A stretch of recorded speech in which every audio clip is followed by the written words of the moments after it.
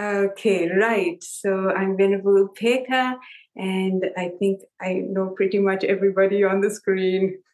and it's very nice to see everyone again. I'm in Sydney still. Uh, we've come close to the end of our rains retreat. Don't know how that happened. Three months went by, and uh, we're three months closer to death. Anyway,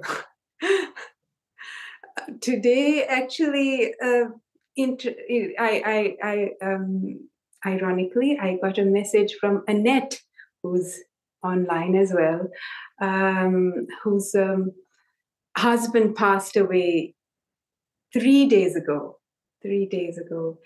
And um, so I wanted to talk about death and preparation for death this is something I've been thinking about my during the whole rains. And uh, Annette's uh, um, email that came yesterday was just um, a reminder of how how it can happen to our loved ones just three days ago. You know.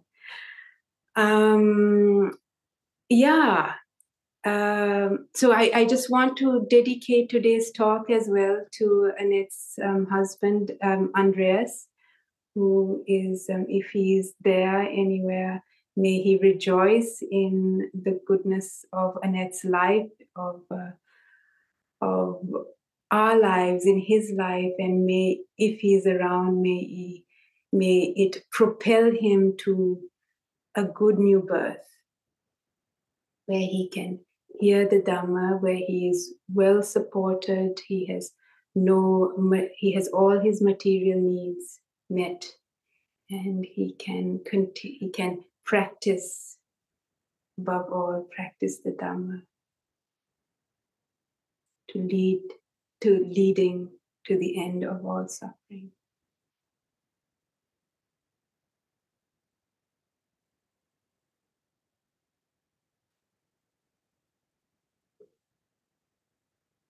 So let's begin with some meditation.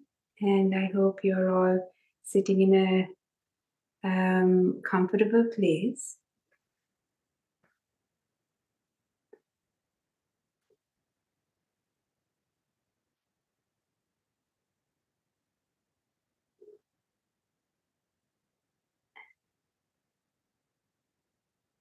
And I, I uh, thought we'd um, do a little preparation for death, a little meditation that hopefully, if we do often enough, we will it will come up into our minds as we pass away.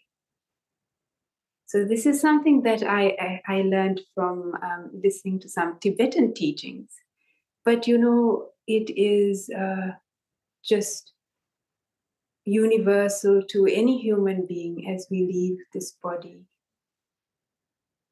And important things to bring up to mind, not only at our death, but every night, every day. I do this before I go to bed as I fall asleep.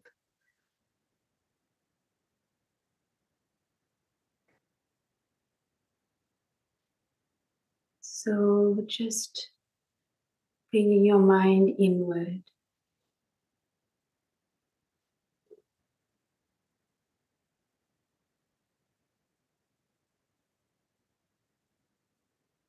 And allowing it to just settle down.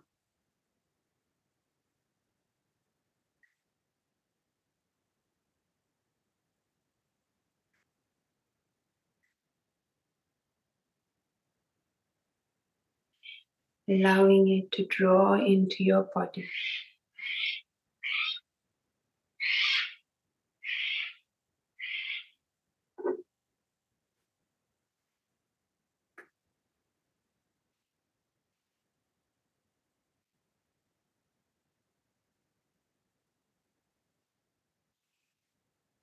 and allowing yourself to turn inward.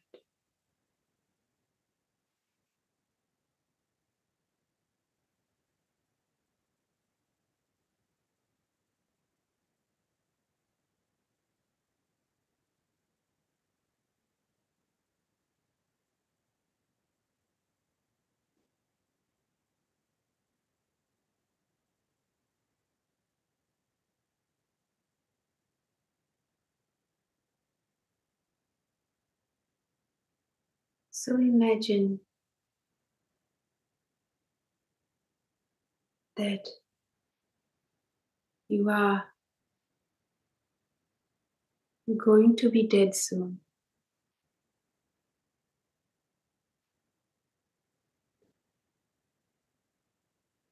For some reason, you don't know how,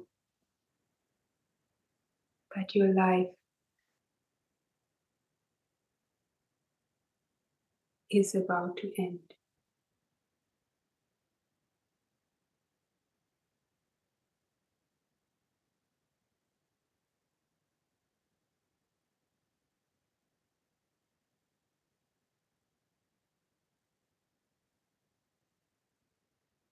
This is quite a different and unusual perception for us because we are so geared towards being alive.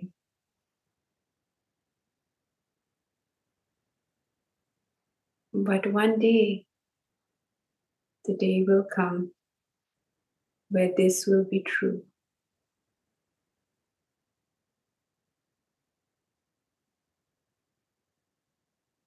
And so we train ourselves to pre- be prepared for it.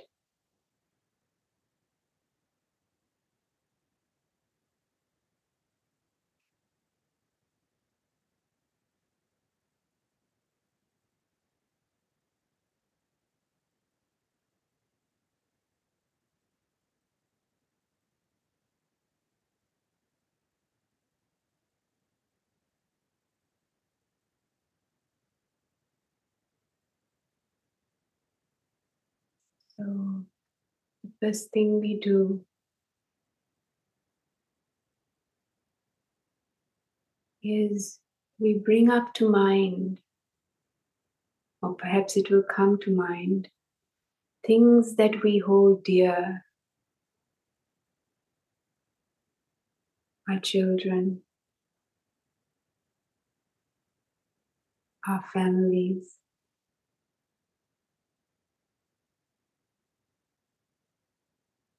the home that we've lived in.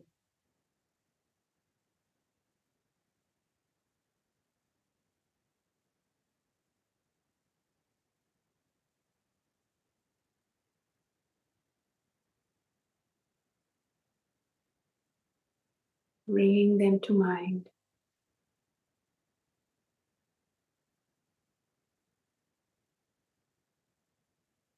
We see them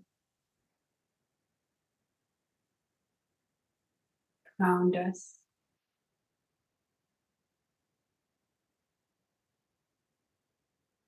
And we say goodbye.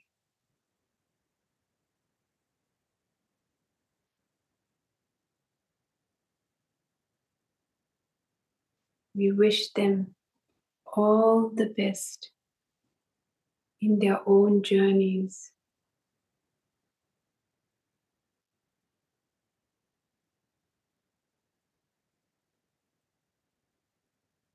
We have done everything we can.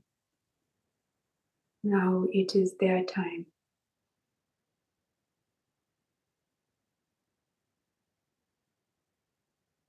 To carry on.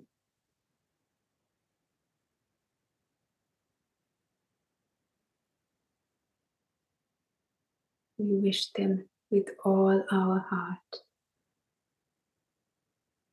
May you be free. May you be well.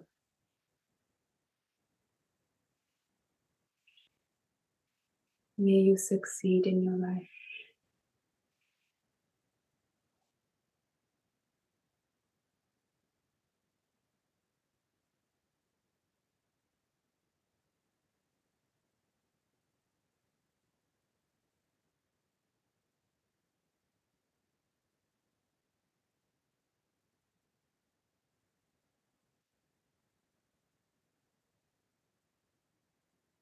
So, too, all our possessions.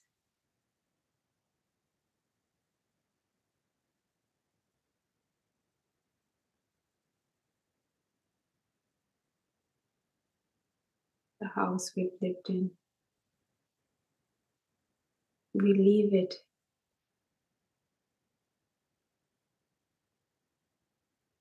to our family. May they make good use of it. All our belongings. Thank you for your service.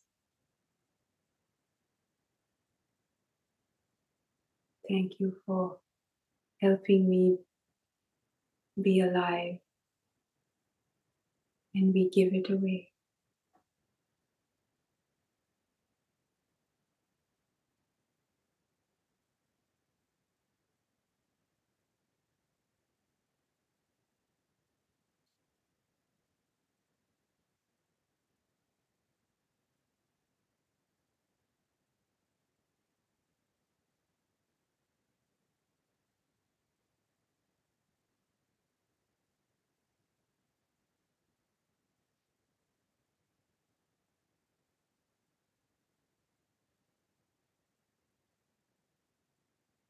And also, it might come to mind if those who are close to us. We have little petty grievances, arguments, things that we may feel bad about.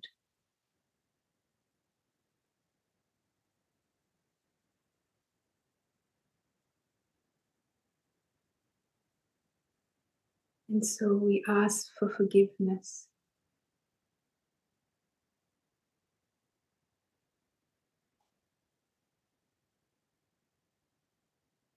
For my dear ones,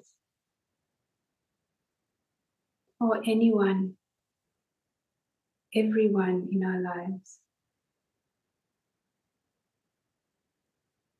If they, we have hurt them sometimes intentionally, sometimes unintentionally.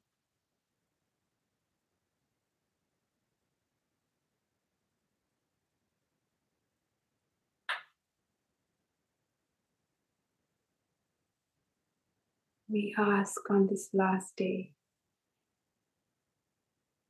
we ask for forgiveness.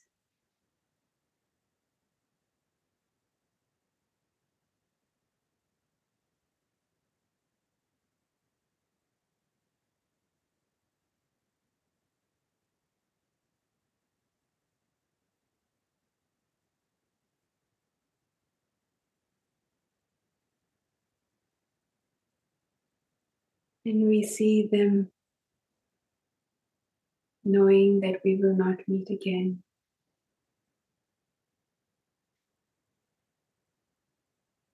Offering our forgive, their forgiveness.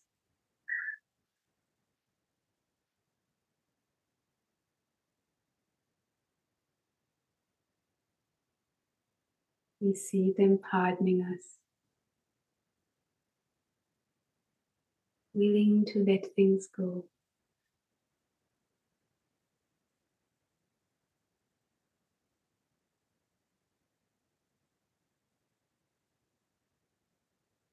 Willing to let past mistakes behind. Accepting what we may or may not have done.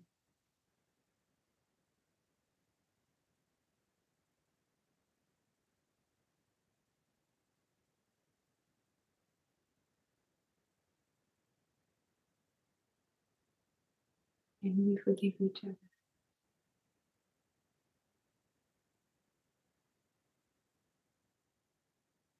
At least from our side.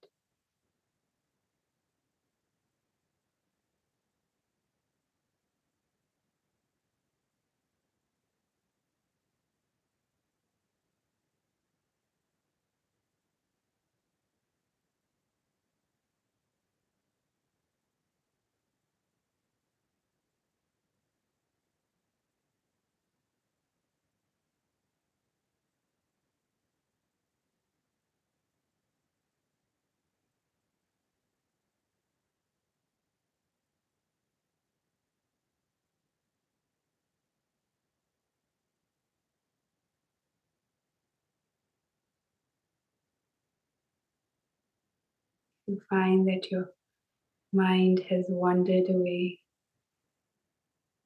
That's okay. Just bringing it back.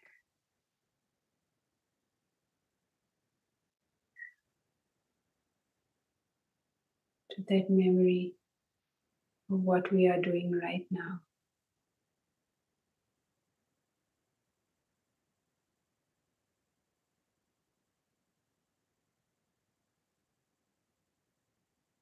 And so we have that image of today being our last day.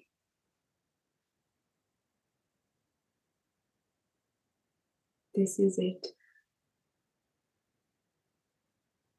We have come to the end of our life.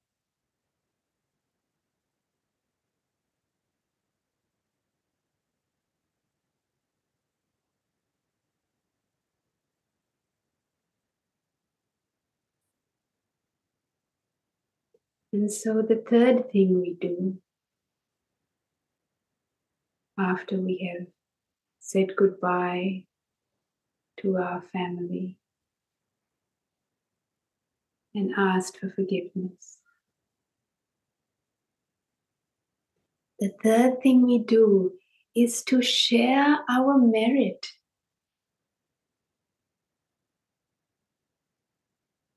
To share all the good things we have done in this life, bringing to mind people you have helped.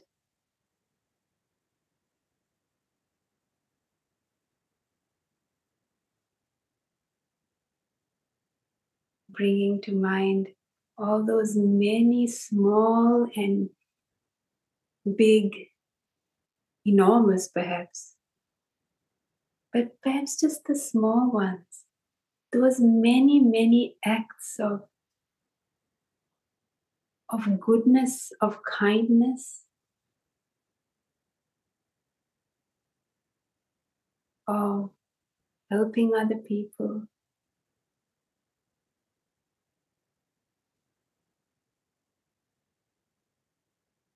The Times that we have found peace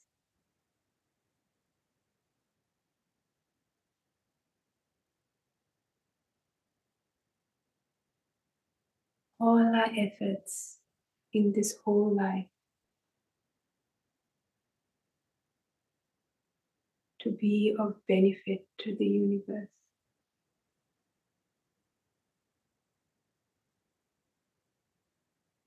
We share our merit freely with all beings.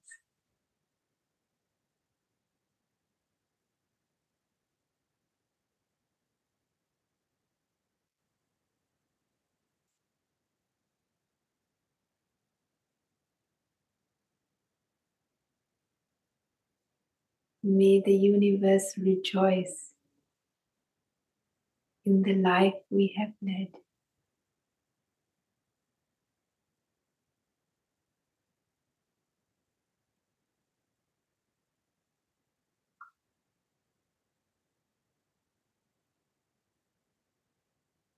In the work we have done.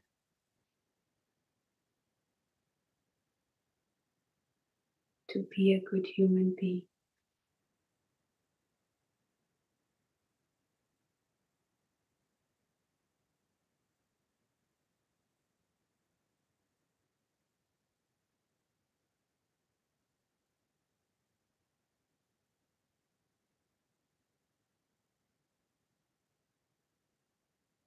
We freely share the merit of our life, a gift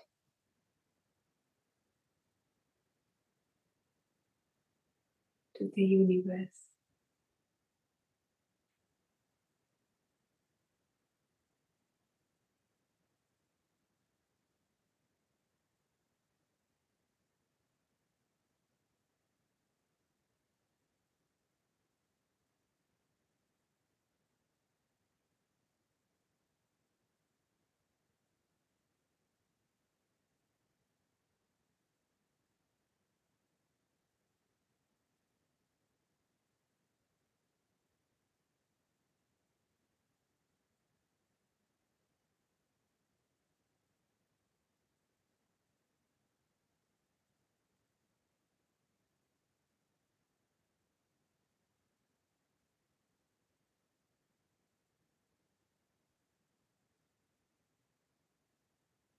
May the gods rejoice. May the celestial beings, may all the be all higher beings, all beings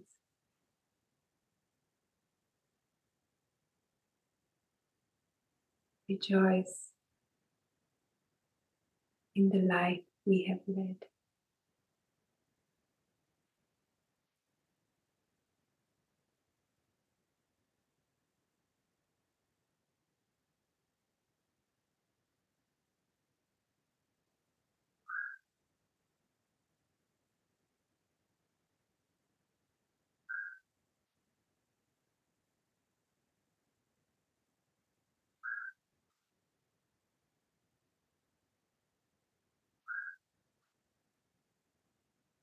And finally,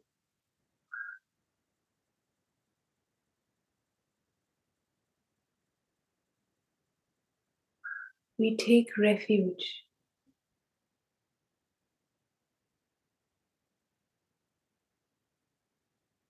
we ask that the Buddha, the Dhamma, and the Sangha be our guide.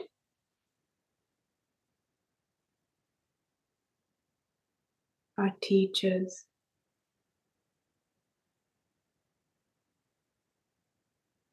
as we pass through this journey.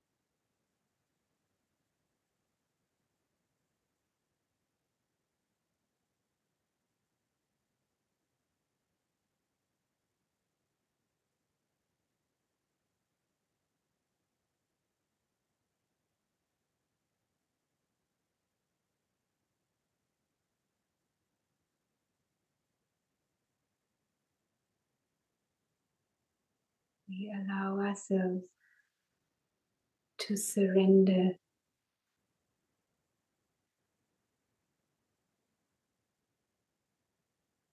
to the teachings of the Buddha.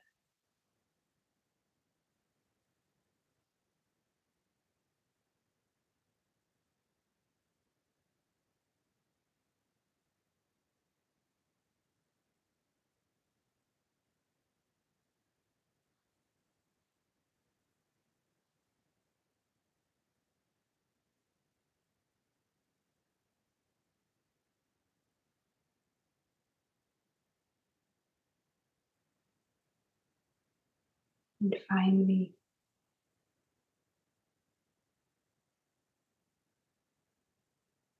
we let all that go.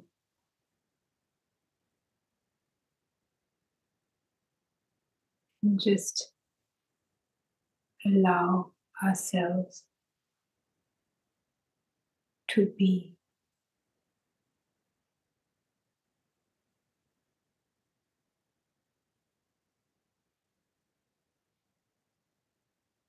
Allow the process of death to happen.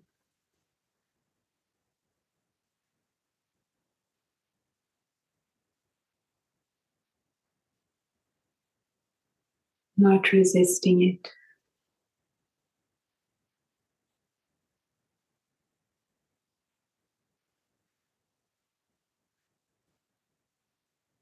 Not fighting it.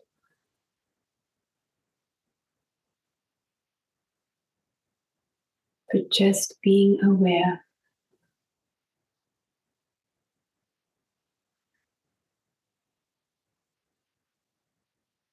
as this body leaves us. Allowing the body to fade away.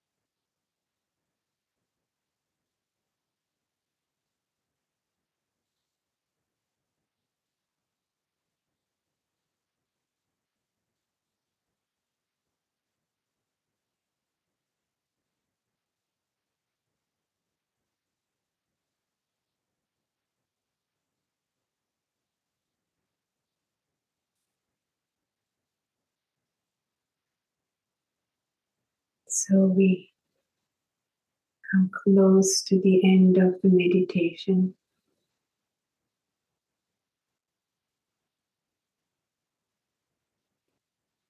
And just spending the last few minutes noticing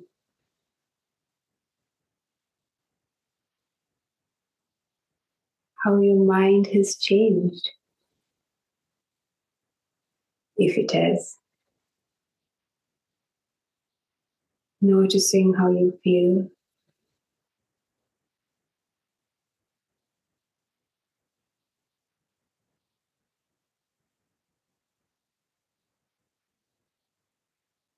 And taking note of anything that happened during the meditation that was worthy of doing again. Anything we learned.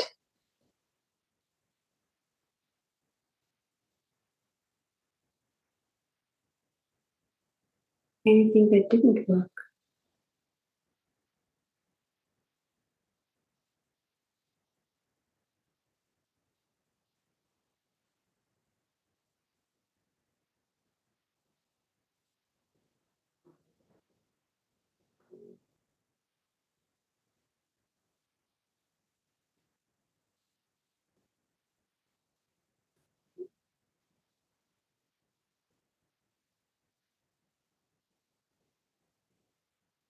When you're ready, you can slowly open your eyes.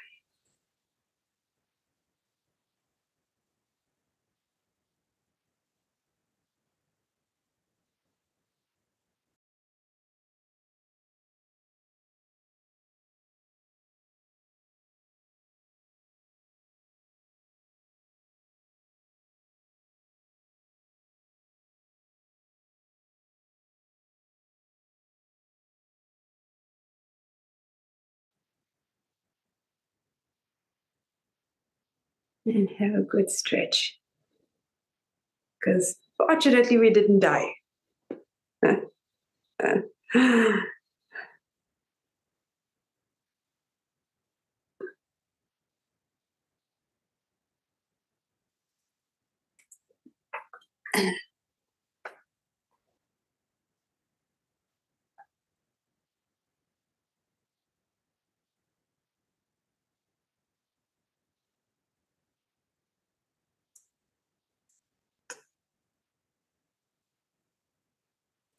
So I hope you found that exercise, that little meditation useful. Yes, yes, no, yes, yes, yes, yes, definitely. I, I've actually, I like I said, I, I learned it from a kind of a, um, yeah, great, a Tibetan Tibetan practice because, yeah, and I actually do it every day. Well, part of it every day, as much of it as that I can remember, before going to bed at night. Um, because, you know, we want to clear our slate and get used to the fact that that um, we don't want to carry stuff over. We don't want to carry stuff over into the new into the new day or new life. So it's just a really lovely practice to ask for forgiveness and um, give away our things because actually it's the reality. We, we imagine all this is an imagination, but the, the, the, the thing with all these contemplations is that the more that you practice it, the more it becomes, you understand this is real. It stops becoming an imagination and it becomes a, a, a, something we go, oh my God, this is actually going to happen. So the more you practice it, the more it comes, goes from being a concept to reality. So I, I really um, suggest, recommend doing this more often you know just the simple act of asking for forgiveness at the end of the day because there are these just little things with our our, our loved ones and our um, workers our colleagues that we just they fester and they accumulate don't they? And um, then we come to the end of our life and it's just one just one big shock. But every day if you can just say, I'm sorry, you know, I love you, just in our minds at least, to the ones who are close to us. Um, I find that tremendously healing.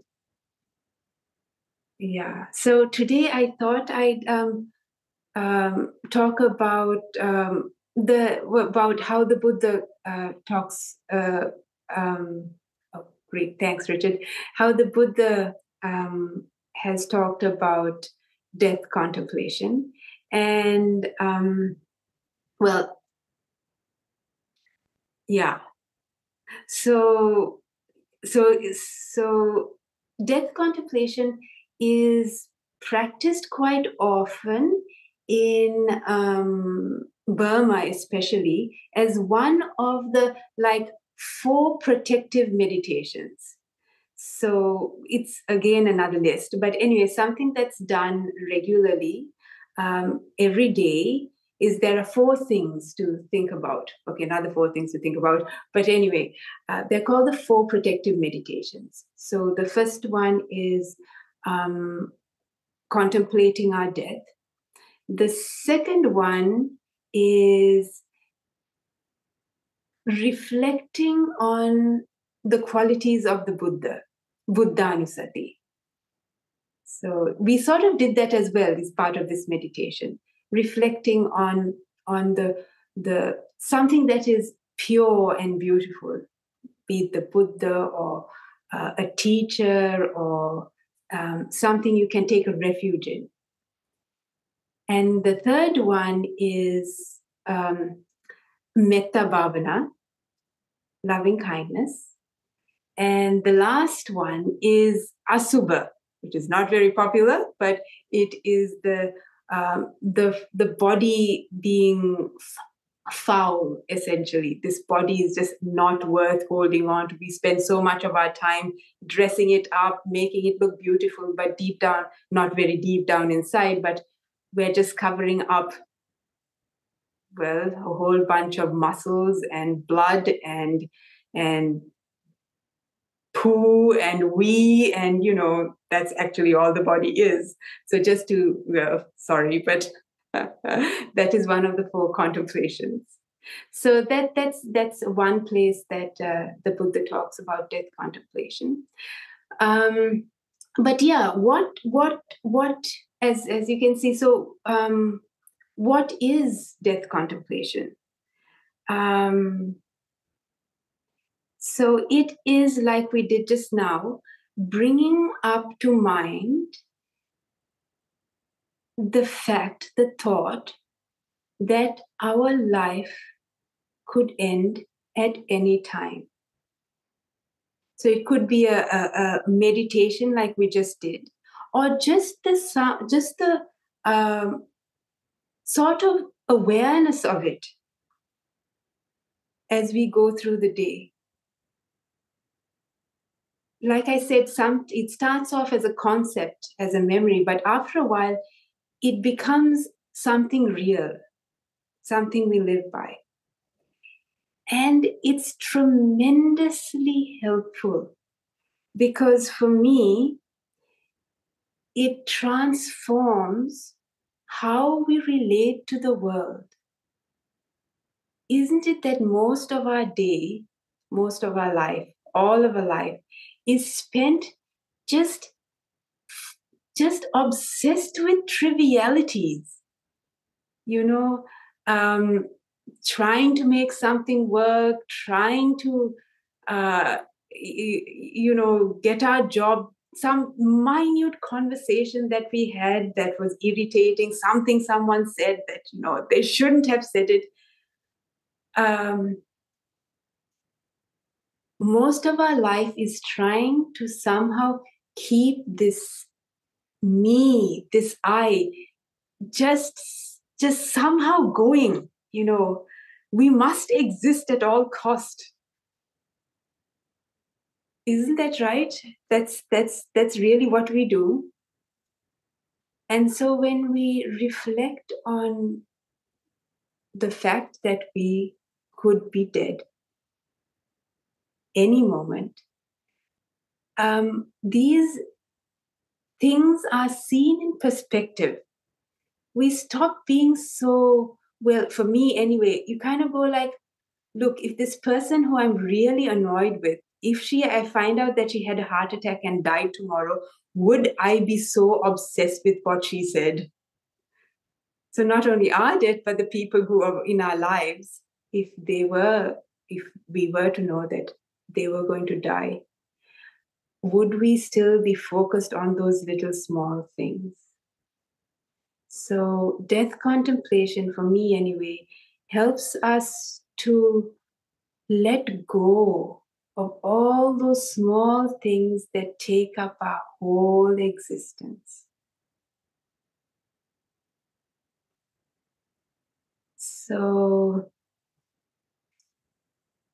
the Buddha actually um,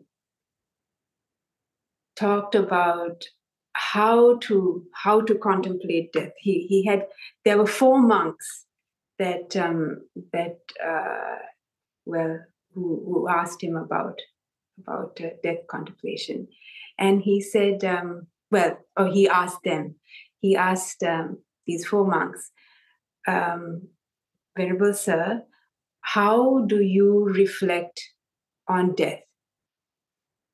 And uh, the first one replied, um, uh, Venerable Sir, I imagine that if today is my last day, how would I live? I imagine that today is my last day.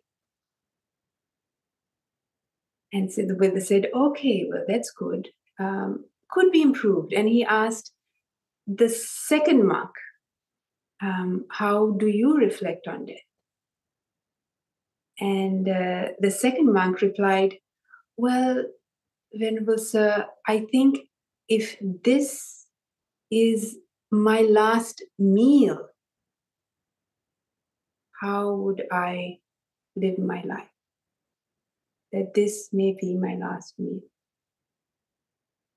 Buddha said, okay, could be improved. And um, asked the third monk, how do you, you reflect on this? And the third monk replied, Venerable Sir, I think this may be my last mouthful of food. This could be the last morsel of food that I take. Presumably, they were sitting at a meal. and the Buddha said, hmm, could be improved. And uh, he asked the last monk, who got the answer right, how do you reflect on death? And um, the last monk replied, I think, Venerable Sir, that this could be my last breath. So, this is ultimately how we reflect on death. But for most of us, thinking that this is the last breath is a little bit high practice. So I often think, um, on just a more practical, mundane level, if I had, say, one year to live, not even that, let's say I had three months to live, or let's say, okay, let's say a year. How, what would I be doing this year if I knew at the end of this year that that would be it? would I still be doing the same things that I'm doing right now? Or would I change anything? Would I change my job? Would I um, spend more time with my family? Um, would I go on a retreat, ordain as a monk or a nun? um, what what would I do in my life if I knew that I just had, say, three, six, one, say, three months to live. So I find that a really interesting contemplation because, you know, often we're not doing what we really want, isn't it? Often we're doing what, you know, just getting the job that, that, uh, that pays the bills and, you know, taking the kids to school, whatever it is. But if I just had three months to live, what would I really be doing with my time? So this is I find this is never mind one breath to live, but just give ourselves three months. what would you be doing with your time? So yeah. Um, contemplating death.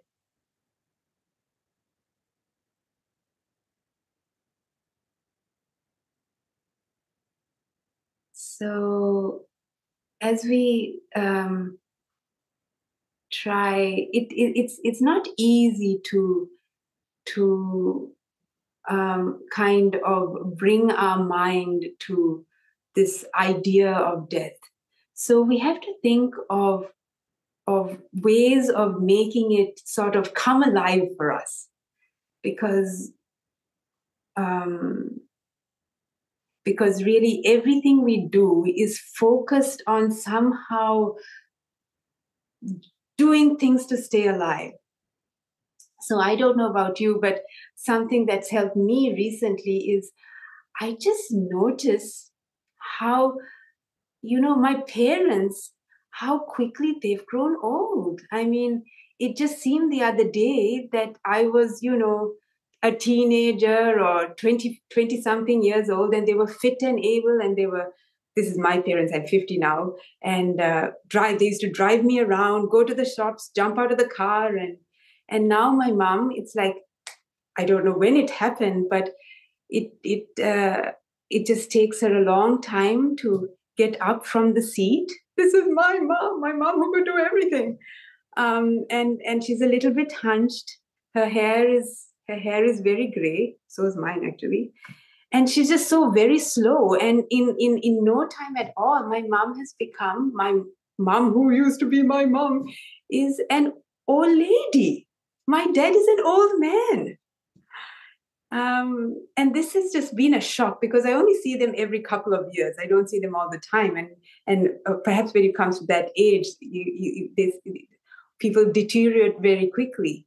Um, but this has just just been a bit of a uh, just a way of reminding myself, oh my goodness, my life passes very quickly. We think that you know everything's going to keep going the same way. But my mom and dad, they're, they're old people now. My dad, who used to race around the world, is now stooped and takes time to get out of his chair.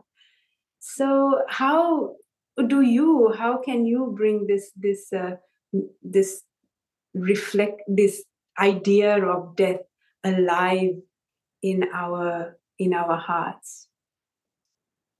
So the Buddha had um, uh, a few suggestions. And another one, another one that I found useful is that you remember the actors and actresses. I'm like old, right? I'm not that old, but you know, actors and actresses of of of our youth. And I saw some pictures of them like recently. Um, Julie Roberts, Julia Roberts, or who was who was Sound of Music? Um, I can't remember. Anyway, Ju, Ju, Julie Andrews. That's right, Julie Andrews. An old woman of eighty something, you know, wrinkled skin. She's just definitely not the Sound of Music legend anymore, singing "And the hills are alive." She's an old lady. So that has uh, that just seeing just seeing how nobody, however successful and beautiful and um, young they were, that everybody comes to old age and eventually dies. When you think, when I think of um, great people, of you know, even uh, great uh, uh, say Caesar, I don't know, great emperors, great pharaohs, great kings, great prime ministers, people who have made history, they're all gone. All of us, however fantastic we were in our lives, what happens to every single one of them? they're just dead people. However much you did to be extremely wealthy, extremely famous, extremely successful, all of that, we just die. Worse still, what we take with us is our karma, and goodness only knows where some of those people are right now. So just remembering that all our success that we um, that all those around us all the successful talented people in a hundred years time nobody will even know about them they won't know about themselves they'll be gone. So um, that's one way I find useful to reflect on death. Um, another one that the Buddha uh, suggested is that you never know the time, the location, or how you are going to die. That's completely unknown. We don't know the time, We don't know where. And we don't know how. It could be a car accident, it could be a long, drawn out illness. All those things are completely unknown. So we prepare ourselves just where we are right now.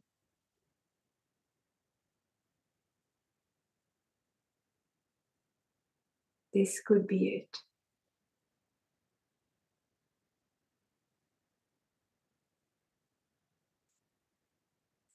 So,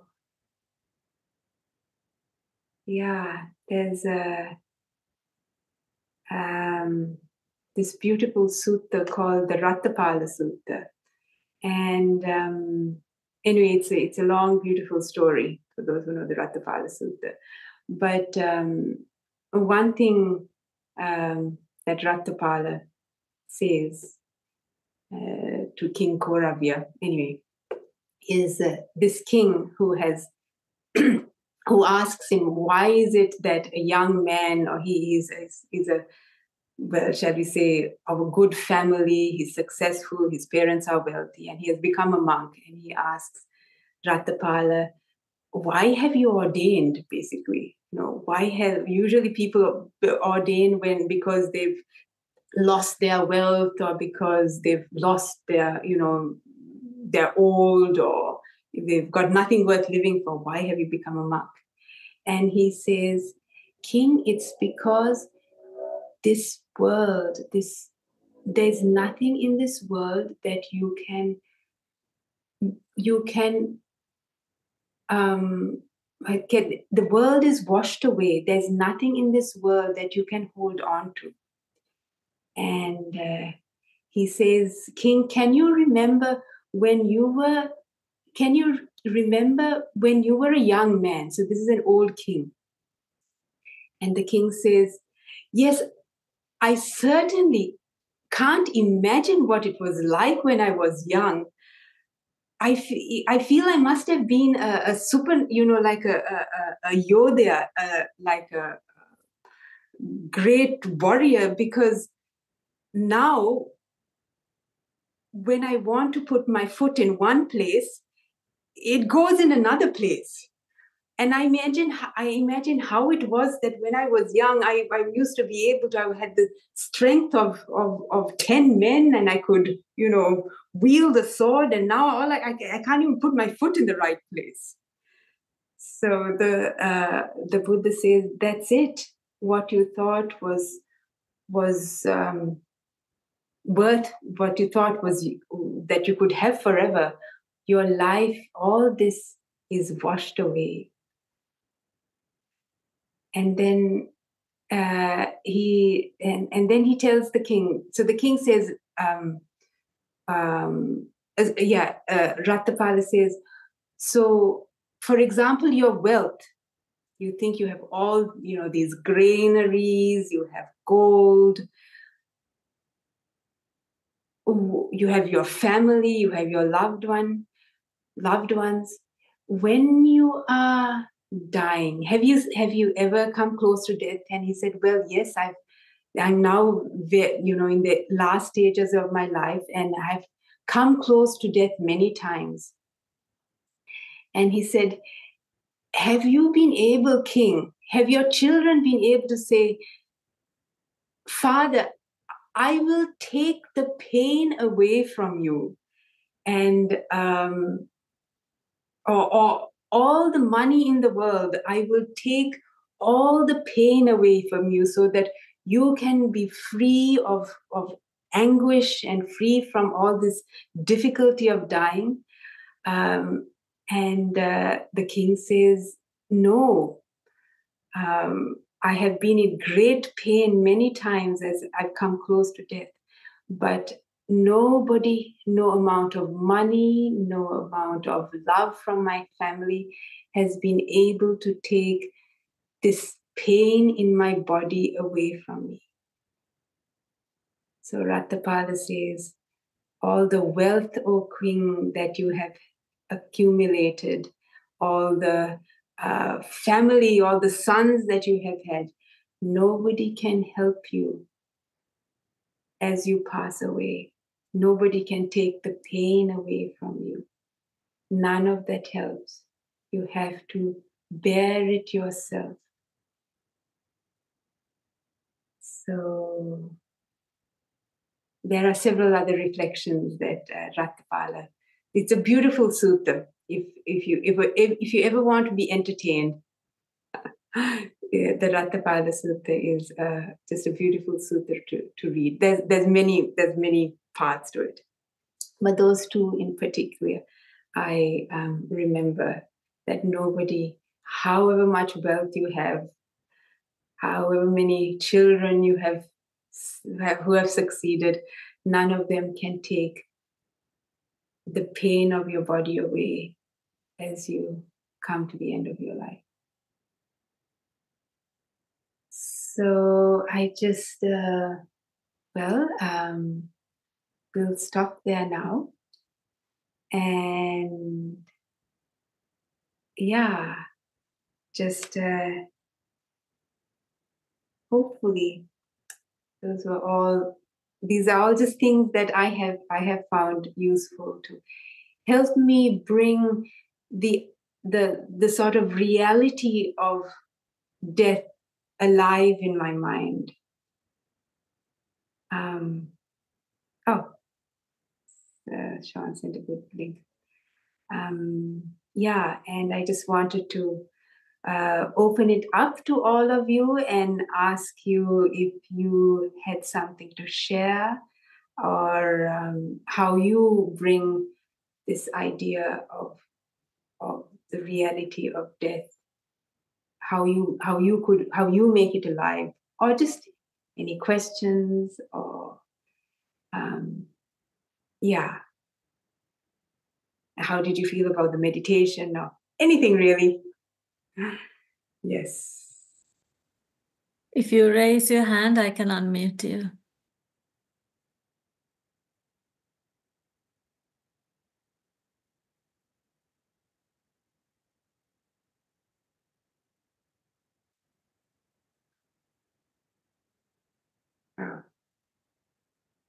how how did you do do you, how did you find the uh, contemplating the the meditation the sort of um, four reflections? Oh Kaz says thank you venerable. Thank you Kaz. Were they useful? Something you could practice? Oh Kar- Karin had her hand up and there's Karina B as well. Hello, Karina.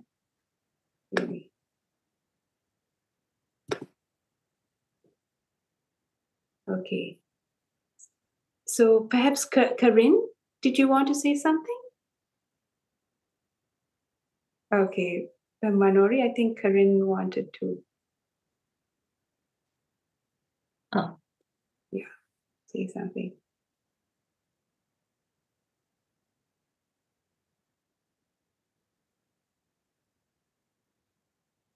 I'm trying to unmute Karina. Karin, Karin. Oh, sorry, Karin. Yeah, there you go. Okay.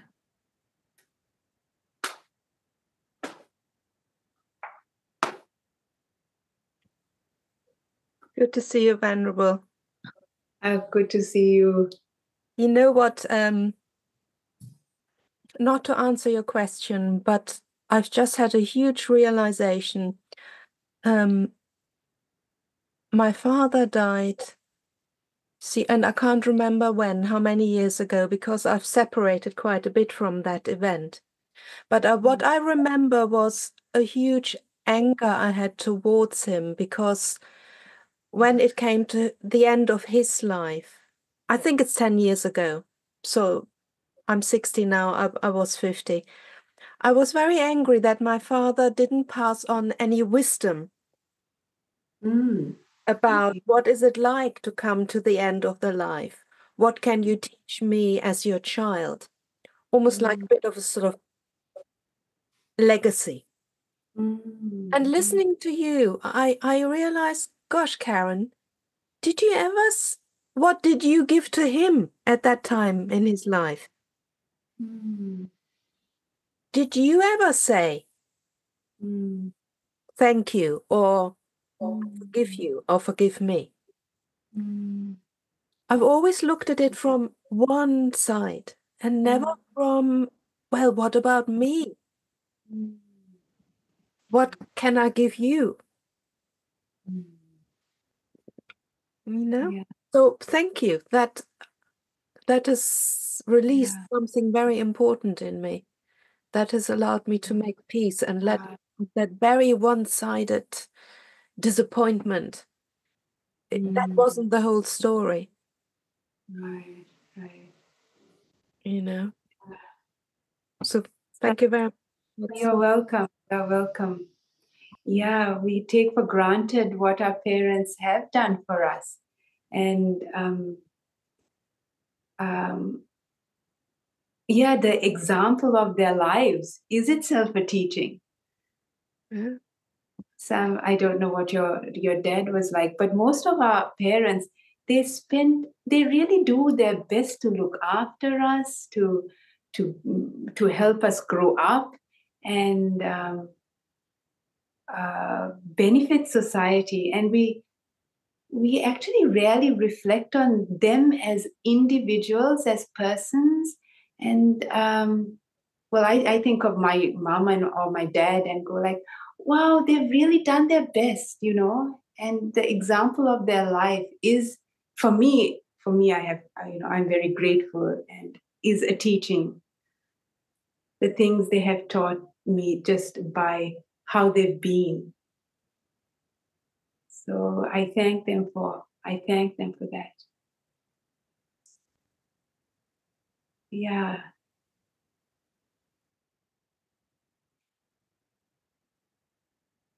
So there are a few comments here.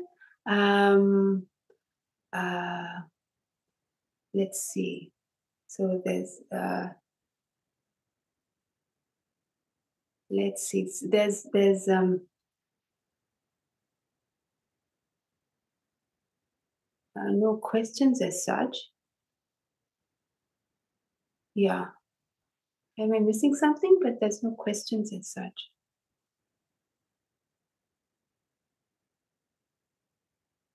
Yeah. Okay. Ah, several hands up. The Manori, maybe you can um, unmute people. I don't know who was first. Yes, I am. I've, I've I'm uh, unmuted Sandika. Okay.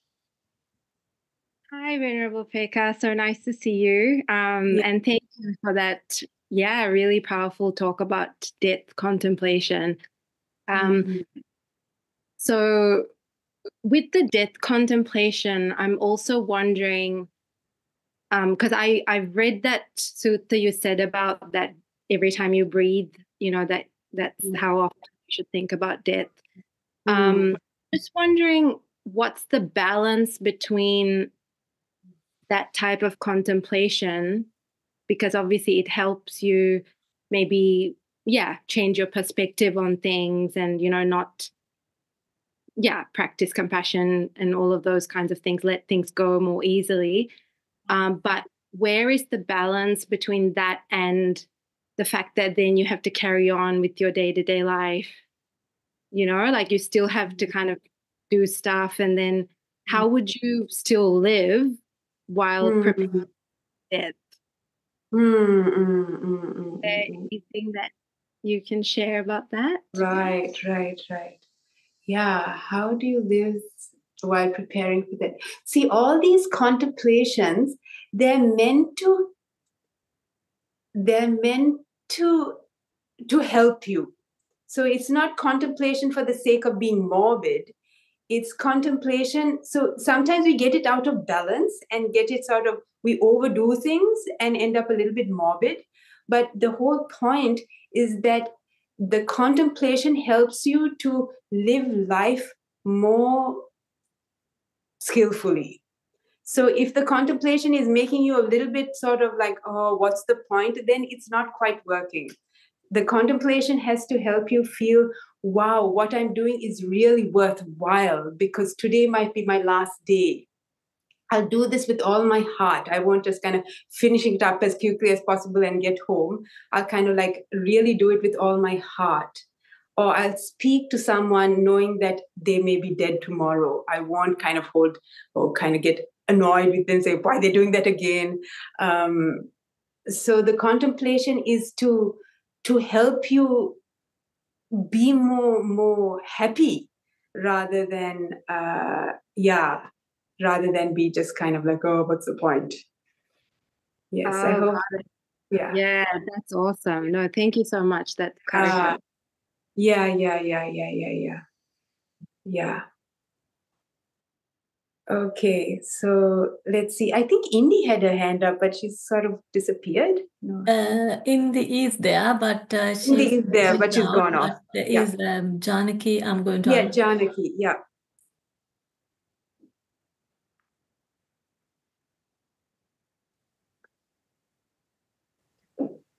Hello, Venerable. Nice to see you on nice to see you I'm meeting you once again on a on, this time on the Zoom platform. But I I met you yes Uh, yes yes yes before. yes Yeah, right. So um it's about the death. I mean, death is not really an end. Uh, it's only a, just a beginning. So, but what I think is uh, what um, as Buddhists, what we should do is um, we have to think or pay attention to what sort of a beginning that we should have or we should be prepared for uh, while we are alive before we come to the death because it's really not an ending not an end it's a beginning Mm.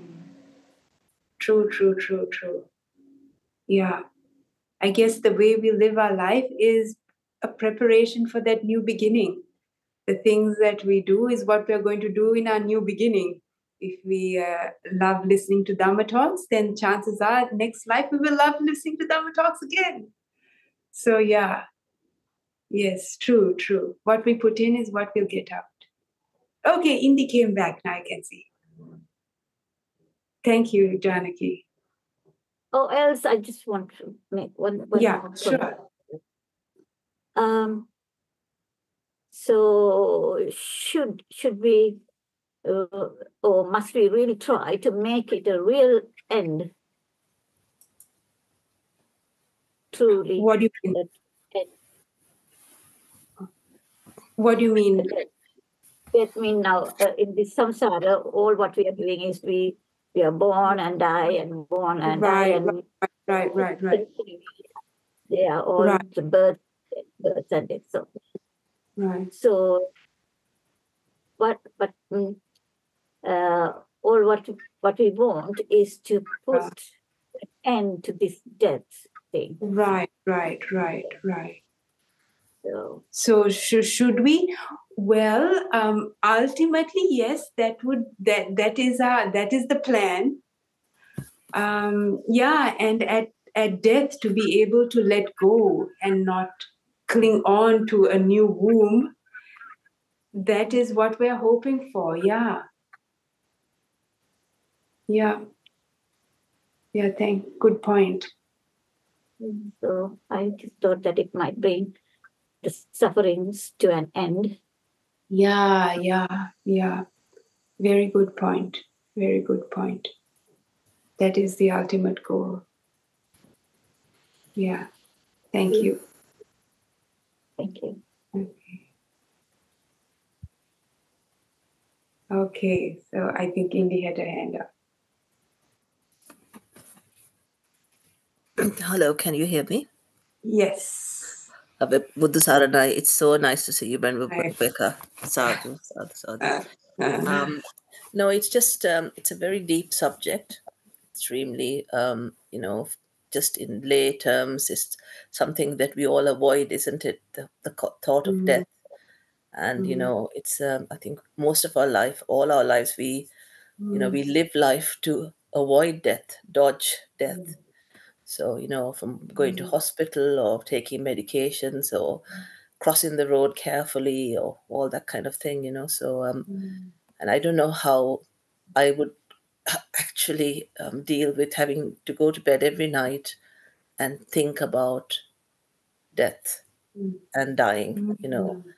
Uh, you know, Mm. it's because death, the thought of death brings up so much fear in one, Mm. you know, and um, just fear and worry and all that kind of thing. But maybe um, it's not as you know um, terrible as we think. And as Janaki said, you know, um, it's the beginning or it's the Mm. continuation of this circle of life, you know. Mm. So I just want to just uh, ponder that. That's that's all, you know. And um, Yeah, yeah, yeah, thank yeah. you for um, thank you for kind of you know opening our eyes to that. You know that um, it's something that we need to be aware of and Mm. you know, um, live each day to our best ability. Mm.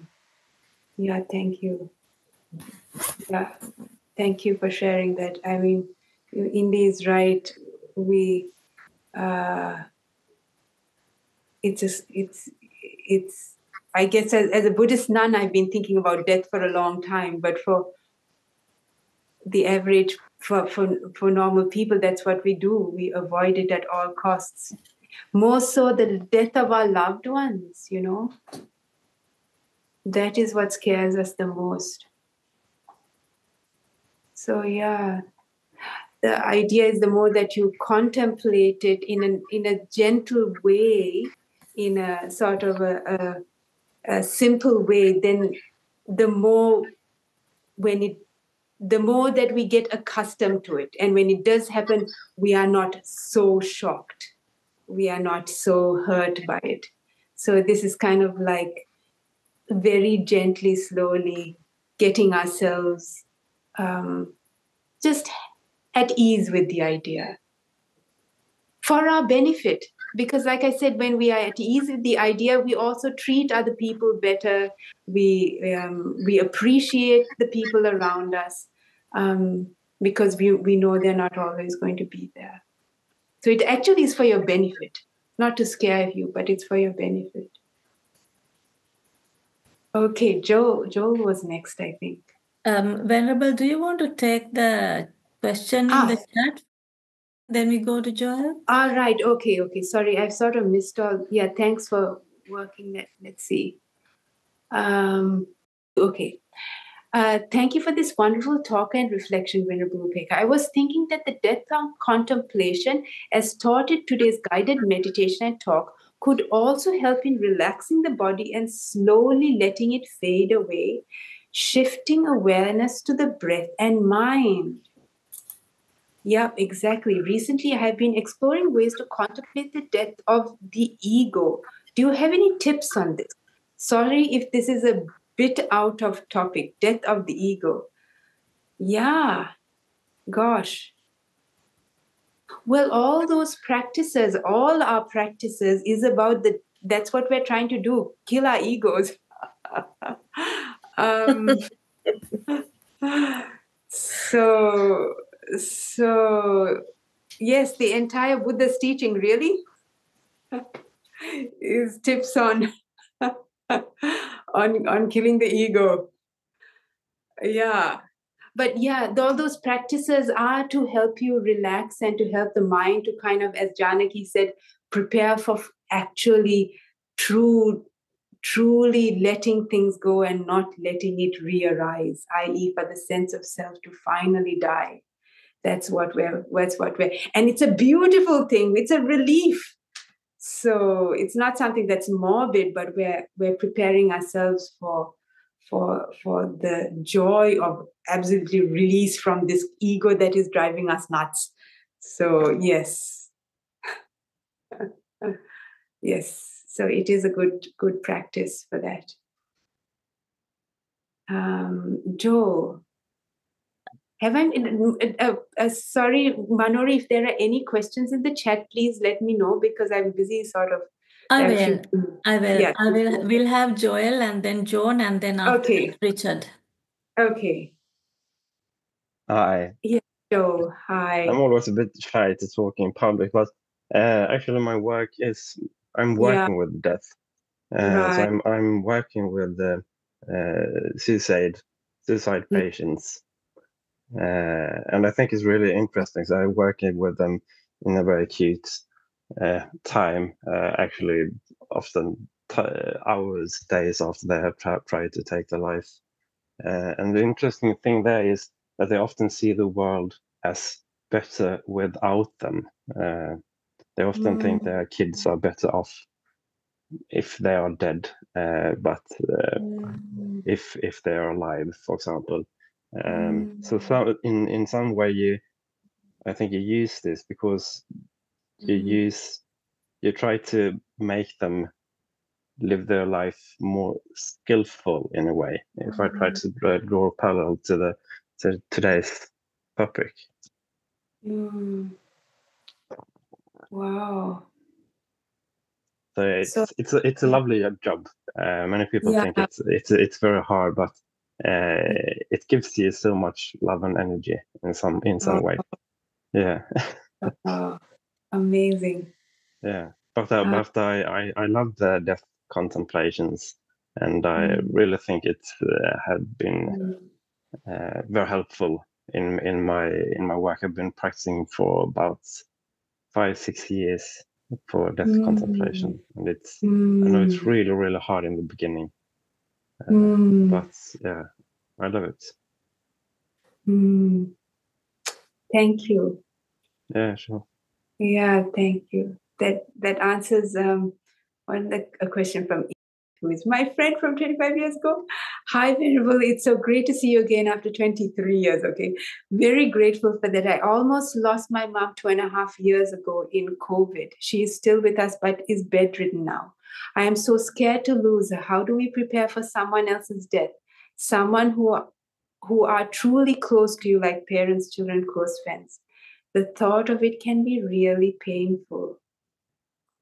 Yeah, that's interesting. So um, it's uh, like Joel said, he's been doing it for six years. Um, it starts off difficult, uh, but it's as we practice it, our mind changes um, from that they no longer they don't belong to us um, yeah. So just just you have to do it in a very gentle way in a way that i i reflect on the goodness of my parents life. I i reflect on say if my uh, mom or dad were to pass away i think um uh how great people what great people they have been. I'm really fortunate to have had a mom like that. I'm really fortunate to have had a dad like that. So i rather think of the fact that i that i'm going to lose them. I think of how lucky i am to have to have had them. And i think of all the good things they good things they've done for us done for me. And um, what beautiful people they are and just the memory of their their their lives brings me happiness. So i'm i'm um, i think oh how fortunate i am to have had them. Uh, yeah so as, as you you just you know as you do it you your mind just thinks of ways like joel said you know it becomes something very beautiful. It's not something morbid. And when um, when it does happen, you you are ready. You've prepared yourself. Yeah. I don't know if that's helpful. Anyway, um, I'll unmute Joan. Yes. Thank you. Good afternoon, or good evening, or good, good morning, everybody, and lovely Hello. to see you, Venerable. Lovely to see you. I'm glad that you've had a beautiful retreat as well, or a good yeah. retreat. It's gone so Thank quickly. yeah. Uh, yeah. thank you very much for today's um, reflections and this this meditation was brought mm. about a great sense of gratitude and peace in me. Mm, um, and these are one reflection I would just like to share was the there's the gratitude of finding a community in a sangha and and your good mm. self and venerable Chanda mm. for I I'm, a, I'm quite an adventurous person. I think of going towards death with people, good people around me, mm. and not being afraid, but being excited to know and hold, holding almost like holding hands with my good friends, my good community to take me forward and to. to mm, lovely. Right. So thank you so much. Right. That's my reflection, really. Right, right, right. Yeah. I don't know if, if that can resonate for anybody else, but it certainly resonates for me. So, mm. yeah. Yeah. Sad, sad, That's sad. It. Yeah. Yeah. Thank you. Yes, spiritual friends, having friends who are who are real, you know, they're not fake friends, and friends who are um, um, who who are down to earth they're a great blessing it keeps you from flying off with the fairies uh, getting lost in life. Yeah. Thank you. Thank you. I will unmute uh, richard.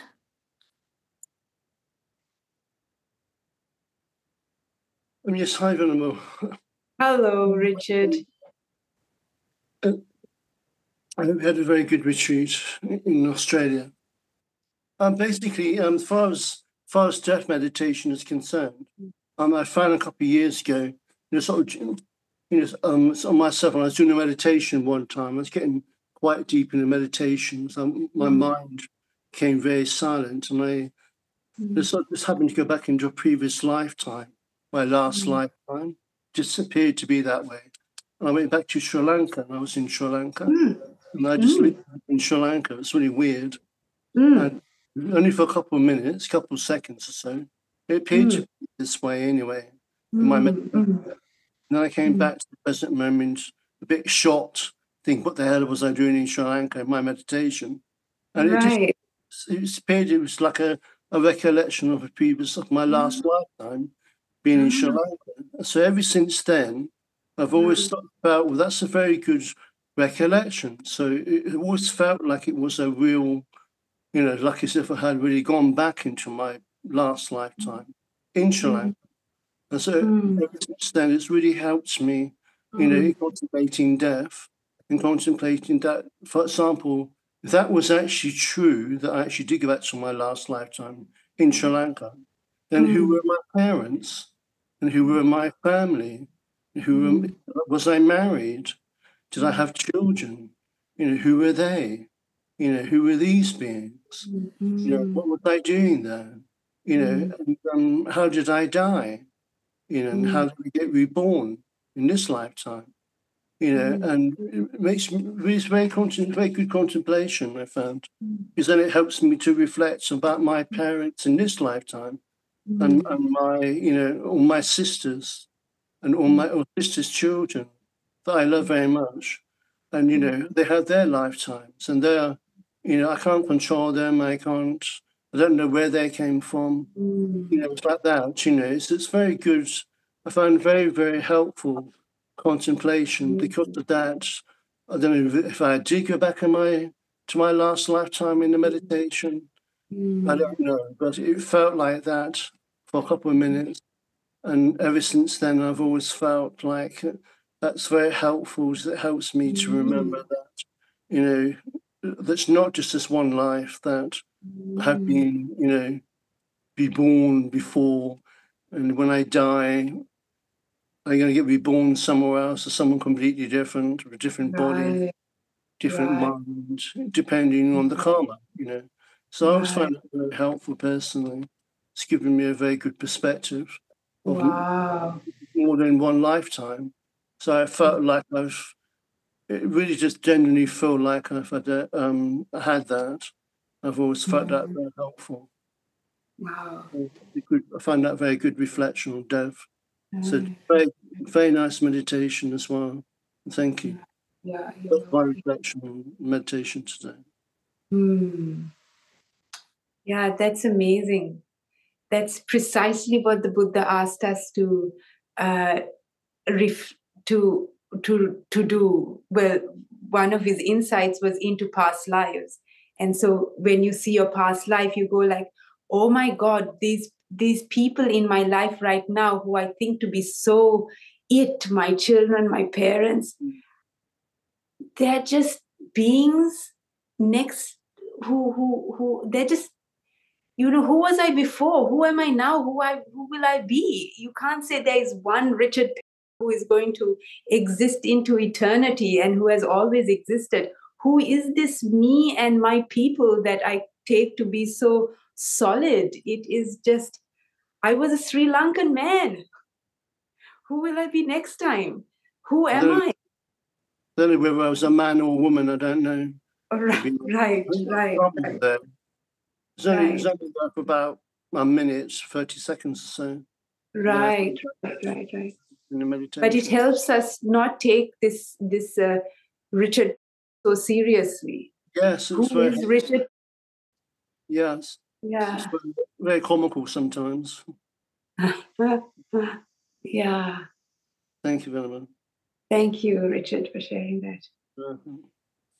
um, Yes, I'll unmute Bele. yeah. Hello, Venerable. Hello. Thank, thank you very much. Um, I was just wanting to share that um, I, for me, the contemplation of death, um, which I, I think I do very regularly for various reasons because of nearly dying several times in my life and also um, living with chronic health condition, which can sometimes get quite severe. And also, I've got no living family. Um, so, and also being a Buddhist, I know it's important to recollect that as much as possible. But I do find uh, what I wanted to share is that it's really sobering. Like it's really, really sobering. So for me, it doesn't necessarily bring up joy. It it's just incredibly sobering and it brings up a feeling of urgency to mm. um to just mm-hmm. it's mm. sobering and and it brings up that a feeling of urgency like what's most important? But i i do find it it's not um joyful. It's just mm. really sobering which might not be a bad thing you know Right. because it gets things in very clear perspective as you were saying Mm. and um, I also noticed tonight that um, it, that reflection that you said, well, would we send that email or would we do? I don't know if you said that. Maybe I thought that. Yeah. Would we send that email or say that thing to that person if Mm. we knew that they would die tomorrow? That's really, really a Mm.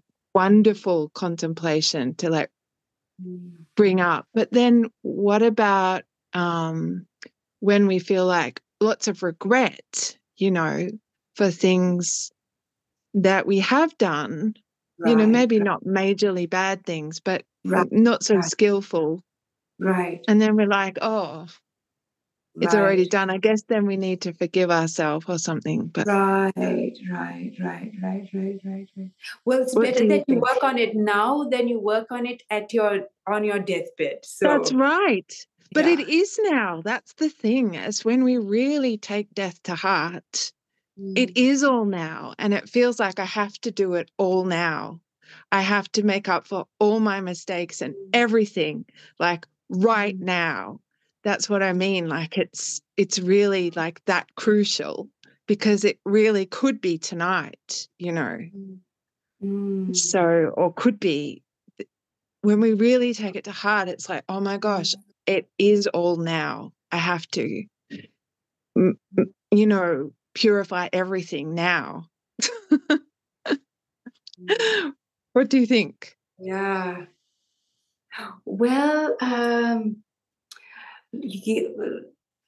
we have to be able to to to accept our mistakes and um, and uh, yeah, ask for forgiveness. Sometimes it might be about matter of making a actually sending that email to that person who you thought you hurt and saying um, at least in your mind you know um, saying please forgive me first step just do it in my, your mind before sending the email. Um, yeah to actually you're right it is it is it, it is a burden. It's, it is a burden. Yeah and worth it's it yeah yeah do it. Do it. Do it. Clear the slate.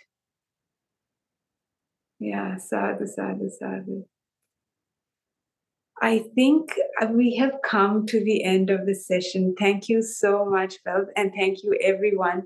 There are lots of um, uh, very int- lovely comments, um, which uh, um, which I there's only yeah I I I that I hope I haven't missed anything. Sean says, doesn't death contemplation itself kill the ego? That's the point. Yes, thank you, Sean that contemplation itself kills the ego. Yeah.